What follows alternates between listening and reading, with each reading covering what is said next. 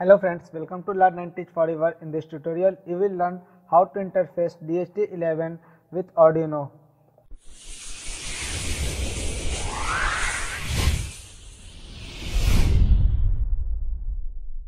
So let's start.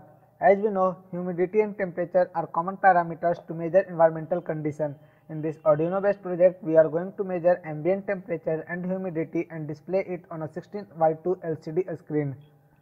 A combined temperature and humidity sensor DHT11 is used with Arduino Uno to develop this Celsius scale thermometer and percentage scale humidity measurement project.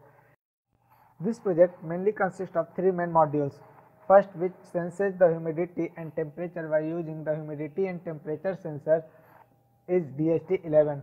The second section which reads the DHT sensor modules output and extracts temperature and humidity value into suitable number in percentage and Celsius scale. This is Arduino Uno. And the third part of the system which displays the humidity and temperature is LCD. Now let's see the pin configuration of DHT11. It has three pins VCC which is connecting to 5 volt of Arduino, ground which is connected to ground of Arduino and data which is connected to any digital pin of Arduino. Now friend start connecting all these with each other. First connect DHT11 with Arduino. Now connect LCD module with Arduino. If you don't know how to connect LCD module with Arduino, check out my videos of how to connect LCD module with Arduino. Link is given in the description box or you can go in the I button above. Connect this USB cable to your Arduino and PC. Now it's time to write code for this module. In the programming part, we are going to use pre-built libraries for DHT11 and LCD display module. To include library, go to a sketch, include library, add .zip library. Give the name of the file as I have already included so I am going to cancel it. Then we have defined pins for LCD and DHT sensor and initialized all the things in setup.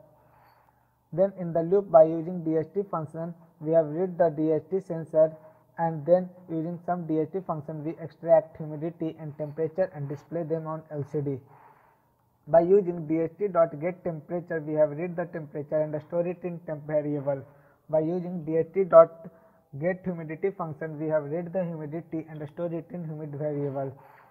Then I have printed value of temperature in Celsius and value of humidity in percentage on serial monitor as well as on LCD.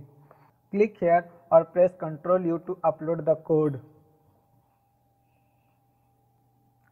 Click here or press Ctrl Shift M to open serial monitor. Now on the LCD you will see that the value of temperature and the value of humidity.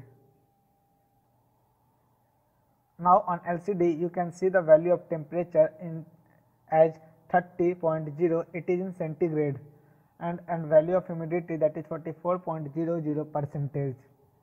If you have any doubt in the interfacing of DHT11 with Arduino, feel free to ask in the comment section below. I hope you like this video. If so, don't forget to like, subscribe and share this with your friends.